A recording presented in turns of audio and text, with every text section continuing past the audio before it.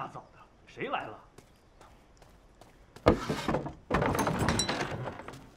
谁呀？谁呀？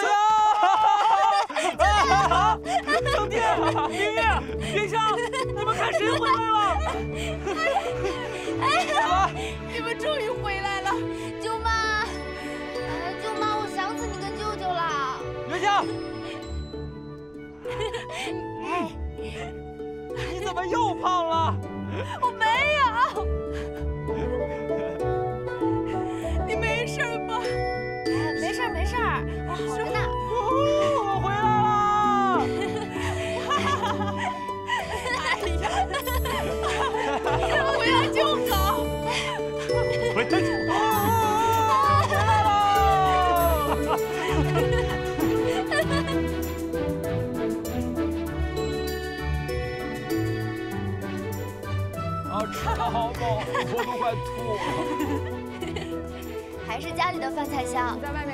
吃什么好的吧？这下好了，舅妈天天给你们做好吃的。好，好嘞我们可是跟着王爷出去的啊，能亏得了他们啊？在外边什么好吃的没吃着，这回到家了才算过苦日子了，是吧？哎，看您舅说的，舅，您这话可说错了。我们在外头啊，就想着家里您做的萝卜条，对吧，成天？对，可惦记着呢。惦记，这么个大活人不惦记，惦记什么萝卜条子？是不是元香啊？呃，如今他们回来了，咱们的苦日子也要结束了，是吧，霓裳？哦，对了，嗯，这次回来呢，我想把制衣铺做一番改动，不知道你们能不能答应？改动？什么改动？我跟成天这次去西周，不仅买到了珍稀的布料，而且还学会了做香膏水粉的方子。所以我想让我们的铺子主卖胭脂水粉，顺带售卖成衣。你的意思是，咱们可以两种买卖搭着做？嗯舅舅，这个胭脂水粉可不是一般的胭脂水粉。霓裳这次在西周学会了很多药理，将脂粉入药，既能驻颜又能养生，在咱们京城可是独一份啊！咱们这个店要是能开起来，保不齐有多火呢！舅舅舅妈，咱们的好日子就要来了！是真的吗，霓裳？嗯，霓裳，不管你要做什么，舅妈和舅舅都支持你。你是做大事的，我们相信你。对，听你舅妈的，想干什么大胆的去干啊！谢谢舅舅舅妈，咱们五个又可以大干一番了。可是杭头会那边不是禁止我们重新开业吗？他们进的呀是方氏制衣铺，咱们新铺子呀做的是全新的买卖，而且还会有一个新的名字。什么时候开张，他们管不着。新名字？什么新名字香草堂。这么惊险？那然后呢？后来我便在西周拜师学艺，学习调制香粉。我的师傅江平川跟我的师娘阿苏娜都是非常好的人，教会了我很多东西。啊，对了对了，这个香囊是我在西周的时候便缝好的，里面的香草最是安神养气，你放床头就好。好，你闻闻。真好，成天这个没良心的，肯定也没给我带什么礼。成天倒是买了个好东西，硬是不给我看，说是啊要送给心上人。你说他心上人是谁呀、哎，成天，这也没有外人，你给我交句实底儿。原香这么喜欢你，你是什么想法？我其哎呀，磨叽什么呀？俩大老爷们有什么不能说的？舅舅，哎，舅舅，小秦姑娘来了。舅舅啊，啊，成天，实小秦姑娘，王爷派我来送一批东西，都是新年用得着的，尤其是这个展示物品的柜子，还是王爷找人亲自定做的呢。哎，好，好，好，好。哎呀，劳烦您亲自跑一趟，我们多不好意思啊，是吧？这都是王爷吩咐的，嗯，我只不过是出点力罢了。那我就不打扰你们了，您下门吧。哎，好，好，好，小秦姑娘，多谢啊，多慢走谢啊。慢走。来来来来，哎，慢点儿，慢点儿。哎，当心台阶。哎，往往往里边走，哎，往里边走。哎慢点，慢点，慢点。哎，快快快，你跑得快，把这个给人小秦姑娘送去。舅妈给人买了一个谢礼，是个手链，快去快去，跑快点啊！小秦姑娘，哎，这个这样放，哎，你别挡着我的衣服。小秦姑娘，成天，这是舅妈精心为你准备的礼物，你收下吧。嗯，我不能收。既然他要再欺负我，就不给他吃了。哎呀，你就收下吧，真的不能这是我们一番心意，真的你就收下吧。成天，这本就是我分内之事，王爷知道会怪罪的。谢谢，告辞。啊，那代我们向王爷问好。小青姑娘慢走。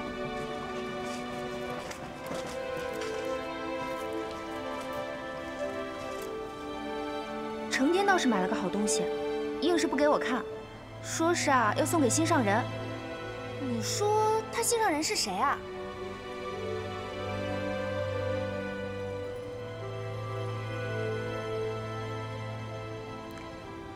原来他真的不喜欢我。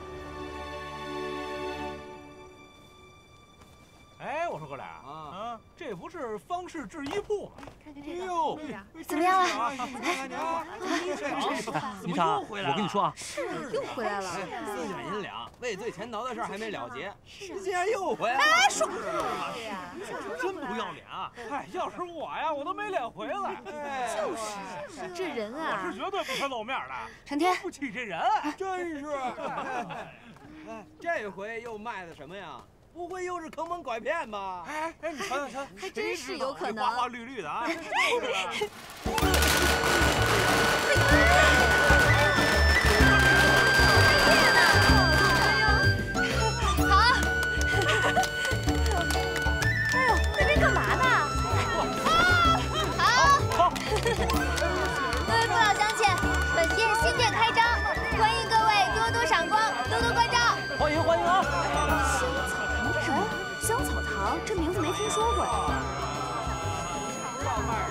我们香草堂专售各色胭脂水粉、成衣，还有西周的珍稀布料。我们的胭脂水粉与别家不同，因为我们的方子呀是来源于美丽又神秘的西周，不仅养颜，而且还驻颜呢。各位里面试试，欢迎大家进来试用。大家可以比较比较，看看我们香草堂与别的店有什么不同。来，大家都进来看一看。来，进来看。来啊！进来看，里边请啊，里边请，里边请啊。看一下，公子，看一下我们店，看一下吧。谁敢用啊？我怎么这谁都没听说过？脸坏掉了呀！脸上用的不能。他们都不进来怎么办？还不是因为苏家带着行头回来闹过几次，这流言蜚语都说难听的话，难怪大家都不相信。哎呀，这个时候别说这个了。我说的是实话呀！你看看新店开张，都没人敢进来。我来。啊，各位父老乡亲啊，街坊四邻，我们今天新开张，大家买不买没有关系，进来看看，看看再说，好不好啊？啊，来来来来来来，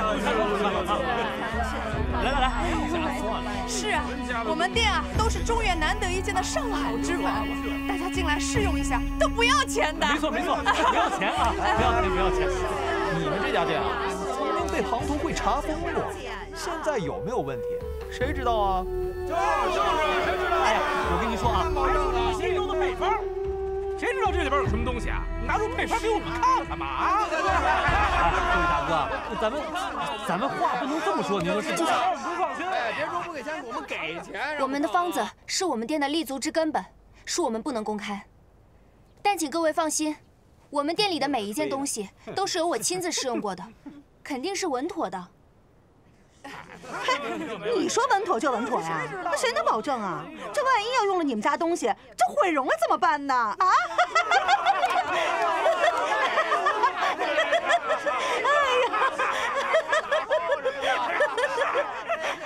这位大姐，可愿与我打个赌？赌什么呀？若是我用香草堂的东西给大姐上个妆，若不能让你年轻十岁、貌美十倍，我便倒贴给您十两银子，如何？十两，这十两，这十两，就就你这店里的东西，真能让我貌美十倍，年轻十岁？可愿一试？愿意呀，当然愿意。有谁会放了十两银子不挣呢？是不是啊？啊，你说是不是，大伙儿？十两。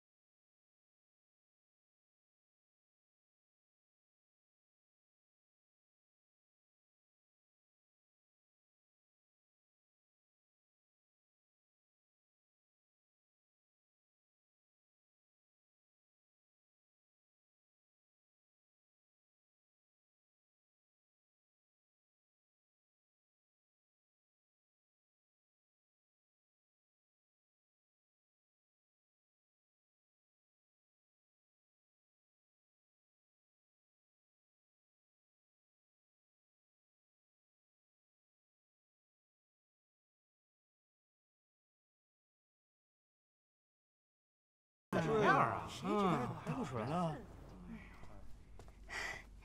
请。出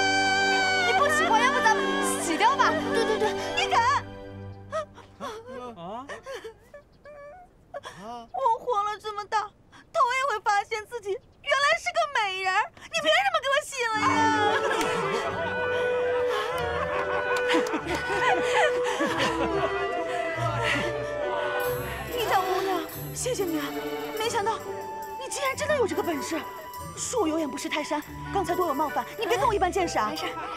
你呀、比那神仙还要神呢！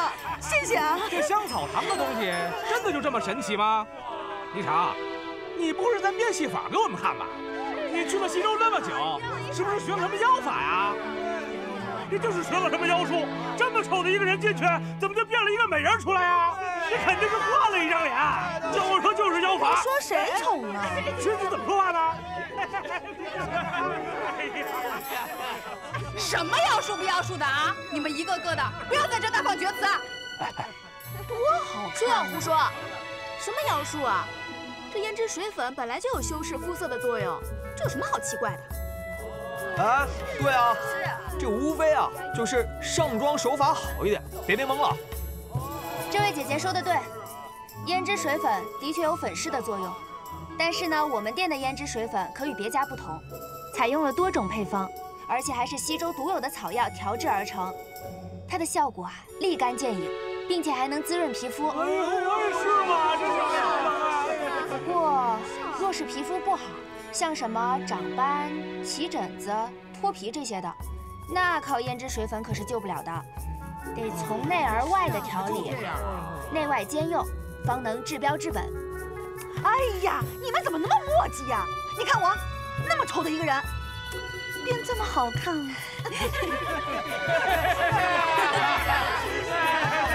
你们还在这说三道四，我去买了啊！刚才给我擦了啥？一样来五瓶。哎，里边请，里边请。我也去买。里边请，里边请，里边请。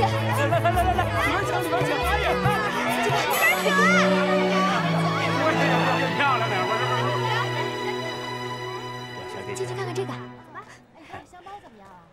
哎呀，表小姐真是我们苏氏的福星啊！短短几日就把城南这几间店铺盘活了。前几日的库存更是出手一空，这些都是我们连夜进的货呀。肖管家谬赞了，文秀只是想为苏氏尽一份力而已。只是这几日卖出的货少了许多，不知是何原因。这苏氏百年老店，如今也做上胭脂水粉的生意了。可惜啊，不过是捡别人嚼剩下的东西，都不怎么样。是啊，这么一铺子东西都是随处可见的货品，远远不及香草堂。那是自然，香草堂的东西啊，个个精致，样样神奇。二位夫人，且不说你们口中的香草堂，我闻所未闻。单是你们在苏氏的铺子，旁若无人的大肆贬低苏氏货品，不觉得太过失礼吗？哟，这东西不好还不许别人说呀。再说了，你们确实不及香草堂，说说怎么了？是啊，有你这么对待客人的吗？客气一点，懂不懂？本店的客气是对苏氏主顾的，不是对您这种故意挑刺儿的人。二位这种态度，恕我们慢待，不送。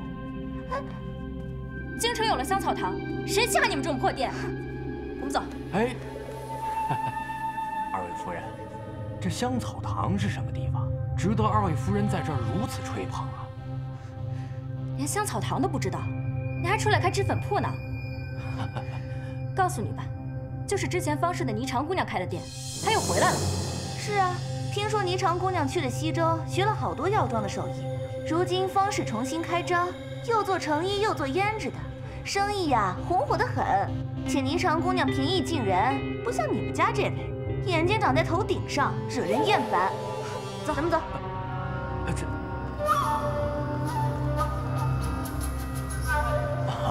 呃，诸位夫人，一点小事儿，妨碍大家了，请继续挑选啊。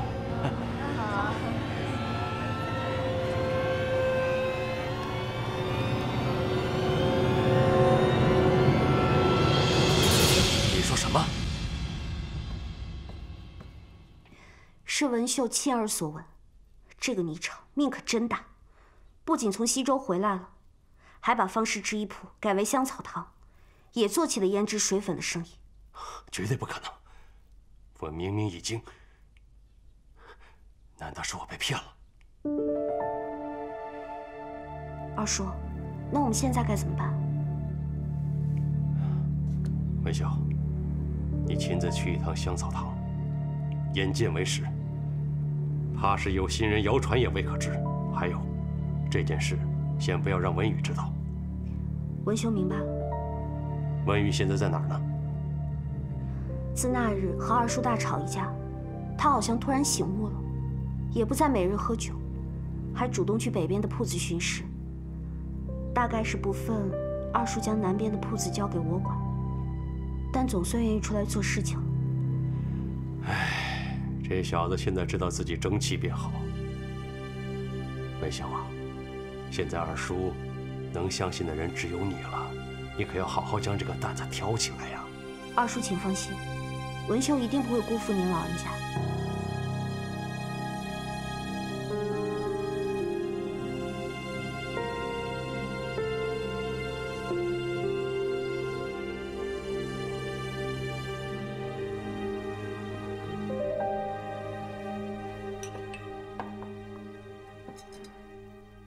二老爷，这大少爷忽然醒悟，还拿捏着二老爷您的把柄，假以时日，小人担心，万一少爷不小心说漏了嘴，恐怕……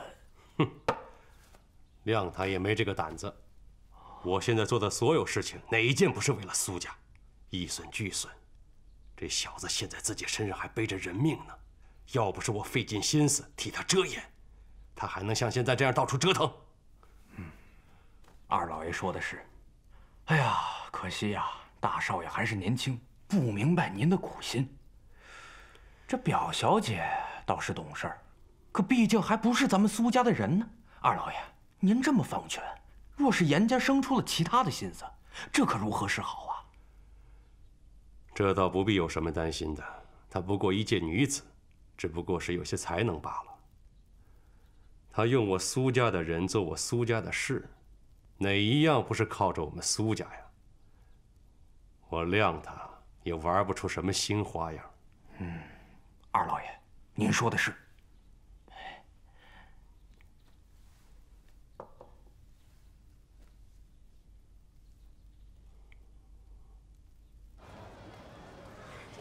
这个是珍珠糕，小姐姐，您是想看香包吗？胭脂要不要试一下？是啊，我们这几款都卖的比较好。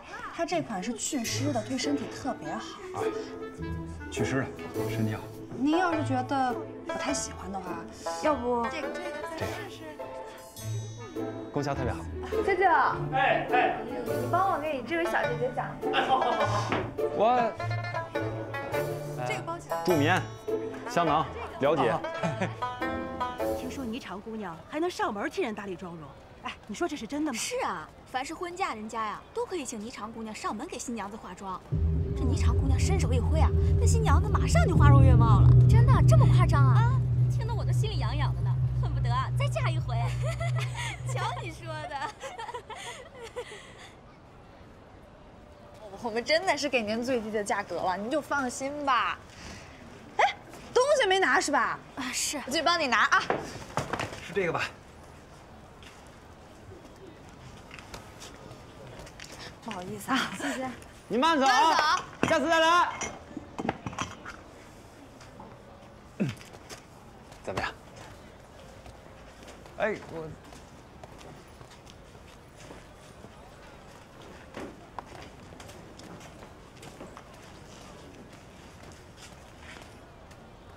倪老板，嗯，果然是你，你还真回来了。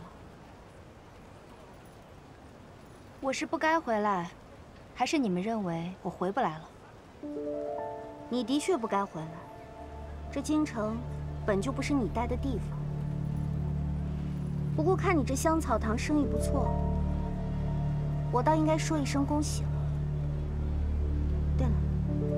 你的手怎么样？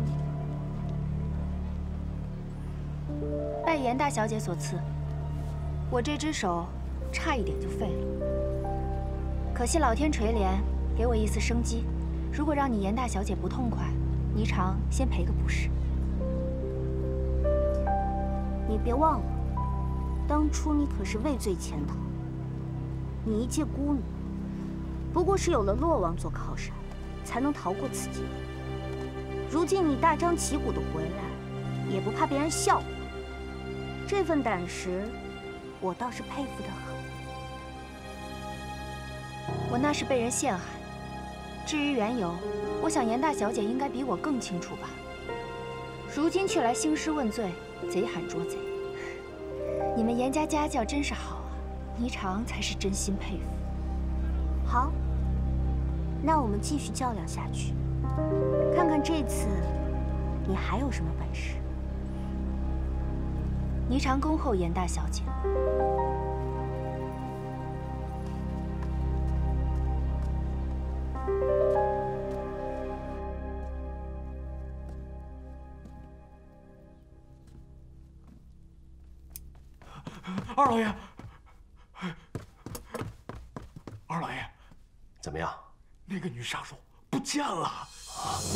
了他的住处，发现他已经搬走了，想必是骗了咱们以后，他他就逃了。混账！我就应该吸取深蓝的教训，我行事太鲁莽了。二叔，那霓裳……你不必说了。那现在该怎么办？霓裳现在有了洛王做靠山，恐怕不会放过我们。西周玉玺的事情，他未必知道是我们动的手，并且他也没有证据。不能硬把这件事情赖在我们身上。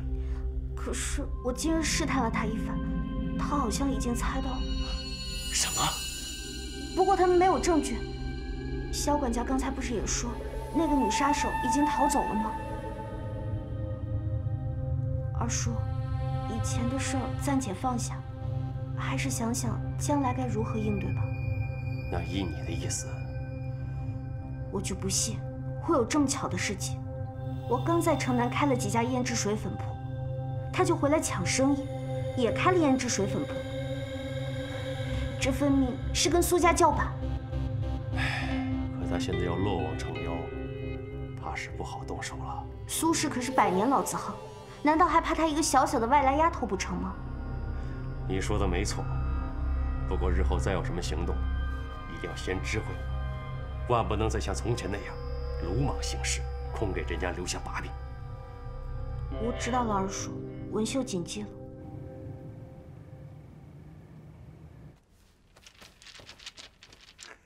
请问还有没有胭脂卖啊？哎呦，王爷，王爷，王爷想要买，就算是没有，我们也得想办法呀。别闹！嘿，王爷，这么晚您怎么来了？问他什么话呀？王爷想什么时候来就什么时候来，什么早晚？就是随便问一下。走走走走走，别在这碍事。咱们要不要请个场啊？要请你自己请，我回屋。哎，你你等等会儿我，哎，我有东西给你。他们真是……他们倒还很识趣啊。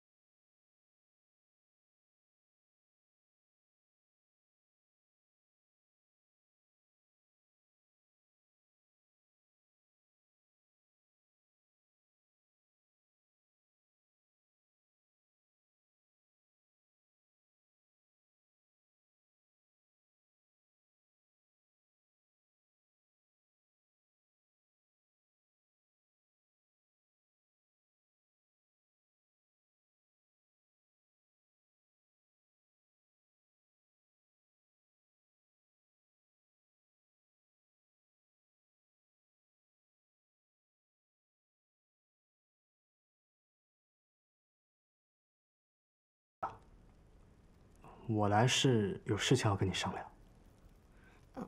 我也有事与你说，那你先说吧。还是你先说吧。我最近一直在调查苏家故人劫杀你和成天的事情，但是查了这么久，却还是没有查出来苏公明这次行动的目的。难道说他已经知道了你的真实身份了？若是这样的话，他们大可以报官抓我，毕竟这才是除掉我最有用的办法。可是他们却雇人行凶，难道真的是我挡了他们的财路？虽然查不到动机，不过我查到这苏家与公事局统领袁道成往来频繁，这苏公明就是袁道成收受贿赂的中间人。那这苏家大少爷苏文，苏文宇虽然任性，但他本性并不坏，我想他应该没有参与到其中。你就这么信任他呀？其实他早就知道我的真实身份，若他有坏心的话，那苏公明早就派人抓我去官府了。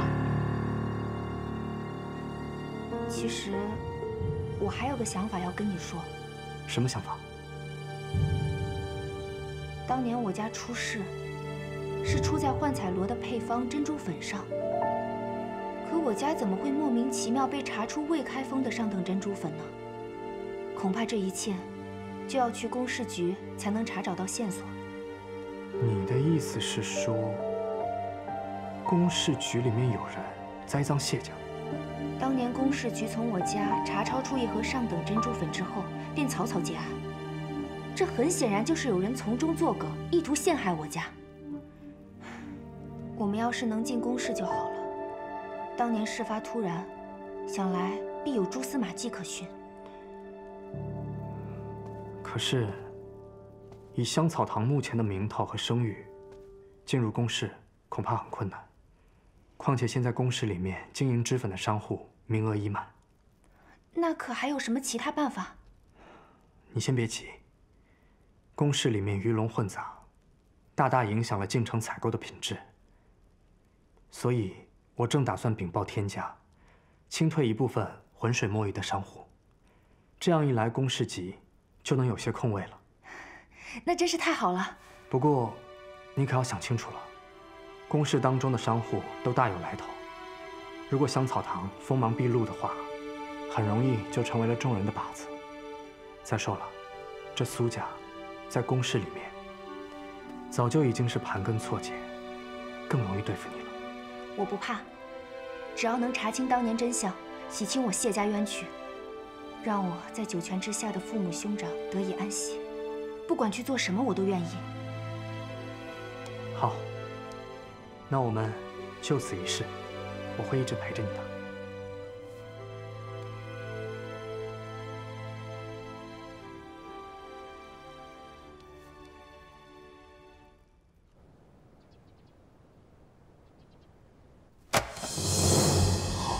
个落网。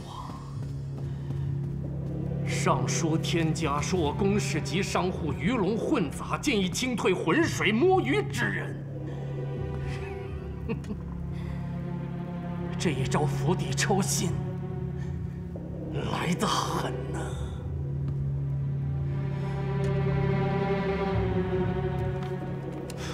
大人请息怒。一个闲散人物来督办公事局，本身就是天家的一句玩笑话。只不过这个不知死活的玩意儿，却拿起鸡毛当起了令箭，实在令人可气至极。大人，我们可由不得他胡来啊！毕竟这公事的商户，都是大人您一户户精挑细选出来的。这下子全给清出去了，他们不得闹翻天啊！尽管下令，执行还是我公事局，本官才是公事局的统领。只要我在这儿一日，这公事局就还姓袁。那大人现在想要怎么做？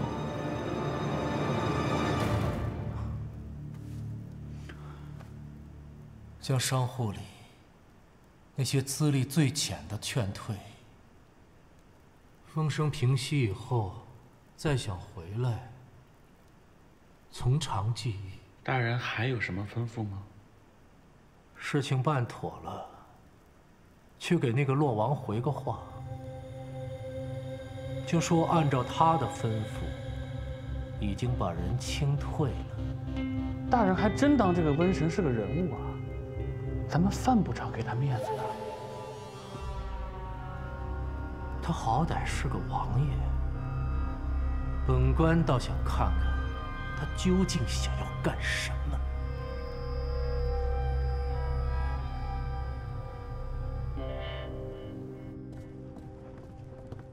王爷，高大人来了。参见洛王殿下。我们袁大人按照洛王殿下您的吩咐，将鱼龙混杂的商户清退。这是名册，请洛王殿下过目。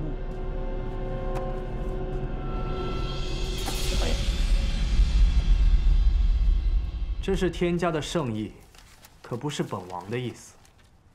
本王也只不过是督办罢了。怎么只清退了七户啊？啊，洛王殿下有所不知，能进宫室的都是京城的老商户，资历深，根基厚。除了在宫室定期出摊外，在外头也有自己的销路，都是动不得的。只有这七户是借了别人的名号混进来的，在外头也没有自己的买卖。当然了，这也是我们宫事局盘查不力，才让他们钻了空子。我们大人也因此非常的自责，这不，立刻就让他们退市了。可是以本王平日的调查，资历不够的商户可不止这七户，其中各种鱼龙混杂、真假混卖、低劣货品低进高卖的。看来你们大人彻查的还不够彻底呀！袁大人公务繁忙，想来也是力不从心。不如这样，清理商户的事情就由本王亲自督办。到时候，对宫室的所有商户一一彻查，拟出一道名单，再送到袁大人面前，亲自过目。洛王殿下，这……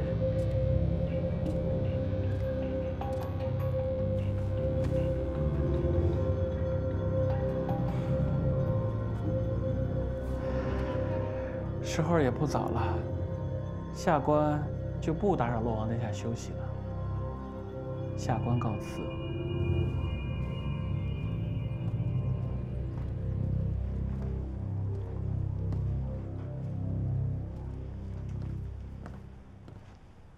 喂，他们弄本破名册就想糊弄咱们，那姓袁的也太嚣张了。这袁道成在官场混迹多年，深知天家的脾气。只要往京城每年送几件拿得出手的东西，天家便不会跟他计较什么。他要对付的，不过是本王罢了。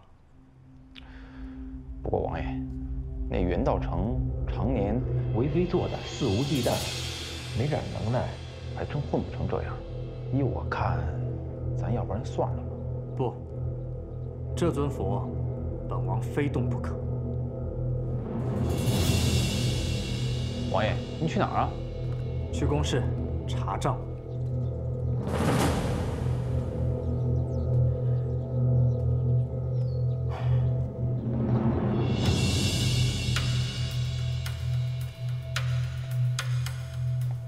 好你个欧阳子玉，带人去查我公事局的账，这是摆明了要和本官作对。大人呐，我们得赶紧想想办法呀！若是由着他这么一户户查下去，这宫室百余商户，能留五成都算是好的了。况且这当中，那有人真假混卖，甚至有些假凡人都流到宫中去了。这是要一并查出来的话，他是奉了天家之命如此盘查，本官有办法吗？不，大人，苏老板求见。不见。哎，阿莫。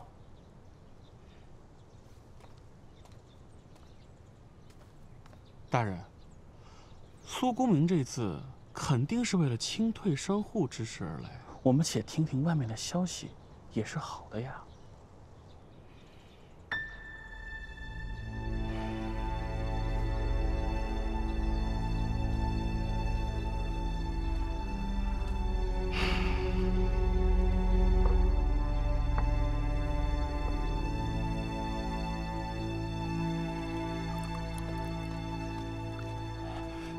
哎呦喂，二位大人，这都什么时候了？外边都乱套了，这我该如何是好啊？苏老板，你慌什么？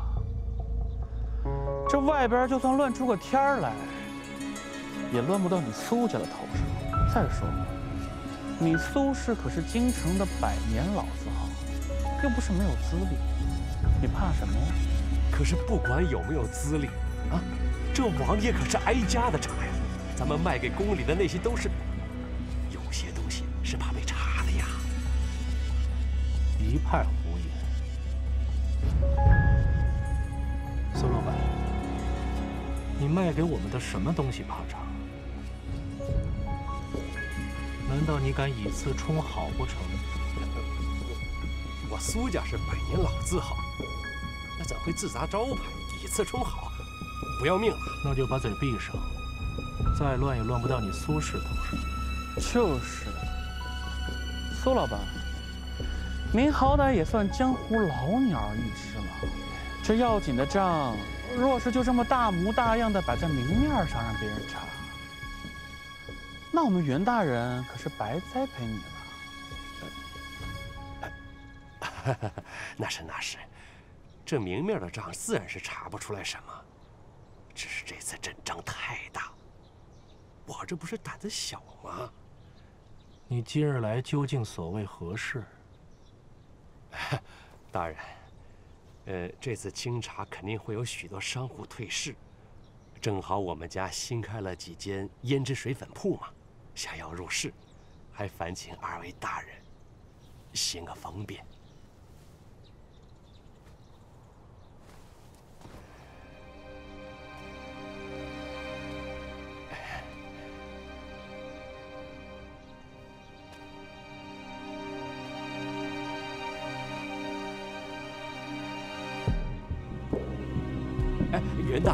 苏老板，入室这种小事儿，何必叨扰袁大人呢？